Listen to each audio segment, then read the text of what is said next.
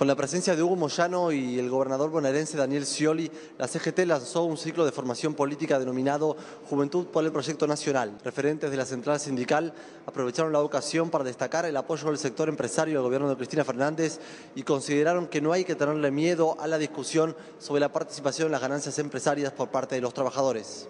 Jóvenes, compañeras y compañeros de la juventud sindical, la provincia de Buenos Aires es el lugar apropiado, donde se van a lucir mucho más, estoy seguro, la aplicación de toda esta voluntad que ustedes tienen, porque la provincia de Buenos Aires está cambiando, está cambiando para bien, la provincia de Buenos Aires avanza cuando la nación crece. Y lo que, por lo que algunos me critican, el gobernador trabaja codo a codo con la Presidenta de la Nación, trabaja siempre con el Gobierno Nacional, porque pienso responsablemente los 16 millones de habitantes y lo mejor para la Argentina. Y los resultados están a la vista. Ya hemos visto lo que ocurre cuando no se logra articular la producción con el trabajo, los sindicatos con los empresarios, los tres niveles del gobierno lo que ocurre. Por eso estos logros que juntos hemos alcanzado, tenemos la enorme responsabilidad ahora de seguir llevando nuestro mensaje desde lo que es el corazón, de lo que es la militancia. Yo recuerdo que el general Perón me contaron, el general Perón solía decir, algún joven le decía al general, usted dice que somos el futuro, pero cuando hay un cargo no lo ligamos nunca. Y el general le respondía, sí, mi hijo, es cierto, ustedes son el futuro, ahora estamos viendo el presente. Eso ocurrió hace muchos años. La juventud de hoy tuvo mucha más suerte que en aquellos años. Y bienvenido sea. Bienvenido sea.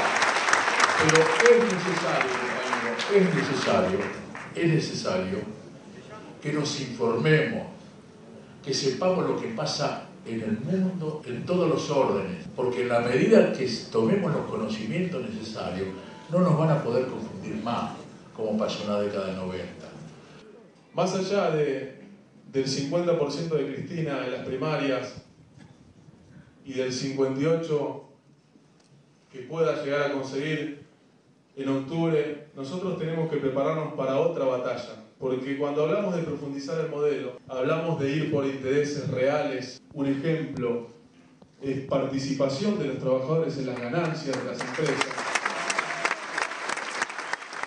es inevitable que el sector industrial acompañe todo este proceso y que lo acompañe de esta claridad, expresándolo y después llevándolo a la práctica como lo hacemos los trabajadores. ¿Usted cree que este acuerdo, esta unidad puede facilitar por algunas discusiones como por ejemplo la participación en las ganancias que está reclamando la CGT? Yo creo que no hay que temerle a la discusión, yo creo que hay que dar la discusión como se dijo acá, hoy, como dijeron la juventud, como bien expresó Facundo y cada uno de los oradores. Nosotros tenemos que dar ese debate. Si nosotros fuimos socios en las pérdidas siempre, ¿Por qué no participar en las utilidades ahora cuando nos va bien al país frente a una Europa que se está incendiando, a un Estados Unidos que casi se declaró en default?